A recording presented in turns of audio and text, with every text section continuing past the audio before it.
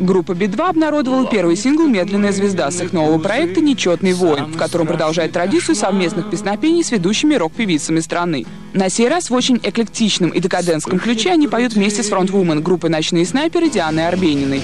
На проекте записаны 21 песня и 15 других исполнителей, имена которых Лева Шуры пока держат в тайне.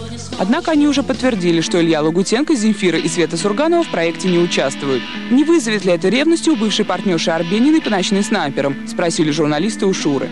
«Мы со всеми дружим», — ответил он. «И с харизмой у Светы Сургановой тоже все в порядке.